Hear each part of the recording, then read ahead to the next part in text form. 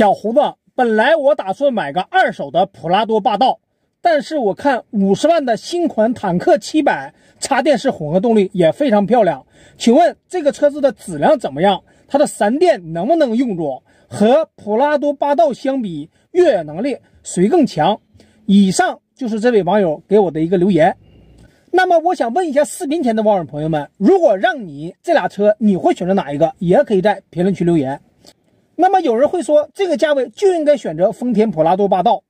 在过去二十年、三十年里，的确有一批人内心一直装着丰田普拉多霸道越野车的梦想，虽然无法实现，但长在了心里。但我想说的是，今天再看看这个梦想，的确是过时了。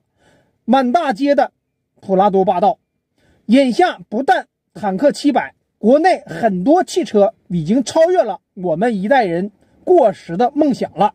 那么说到坦克七百插混，长城在造越野车技术上还是完全值得信赖的，在国产车车企里面那是头子。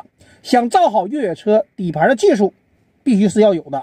恰恰长城在底盘这一块很不错，前有皮卡呀，还有这个哈弗 H 九、坦克三百、五百都是非常优秀的车子，让很多人。花二十多万、三十多万就可以实现这个越野梦。首先，你开这个坦克七百的感觉是，它的隔音、静音、胎噪、风噪控制的要比奔驰大 G 都要好，非常优秀。而且闪电技术也是没有任何问题的。长城坦克车系列插电式混合动力都是这一套插混技术。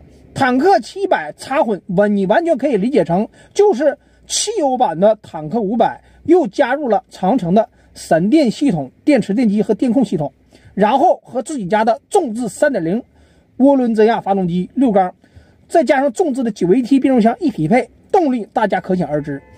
不仅加速非常猛，而且它不穿还不顿挫，在电机电池的加持下，非常的绵密。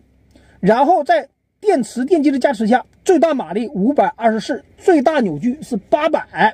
扭矩和马力要比汽油版坦克五百更大一些，油耗会省很多。最低负荷油耗没电的时候，也就是说十个油耗，呃，十一个油耗。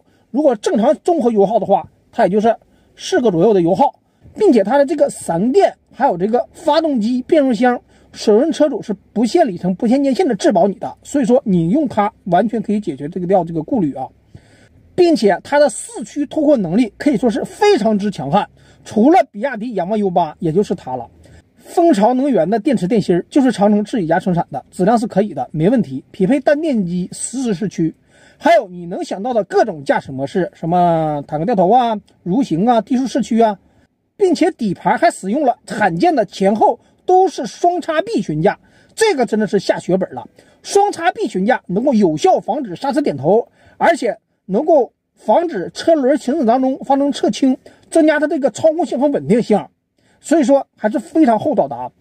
前中后三把锁，还匹配悬架软硬高低调节、空气悬架，增加了大梁结构车身的一个舒适性。那么价格在四十七万和五十万，还有一个七十万的顶配车型，我建议呢就选择五十万这款啊，七十万那个不建议购买。普拉多霸道呢，我就不多说了，车子耐用性很好，但是太老掉牙了。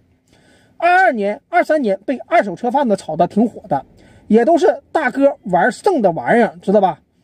我劝你，你就选择这一个坦克七百，你霸道油耗太高了，是吧？养着养着，开着开着，开个一年半年的，你就感觉没意思了，就失去信心了，真的是油耗很高。我建议你选择坦克七百，它的越野能力、脱困能力，那肯定是比普拉多霸道要好很多的。有电的加持，再加上三轮 T 六缸机，那就是无敌的存在，知道吧？并且隔音、静音、舒适度、配置、内饰各个方面都要完全吊打普拉多霸道的。那么视频前的小伙伴对我说的有没有不同意见和想法？也可以在评论区留言，欢迎大家转发、评论、点赞，拜拜。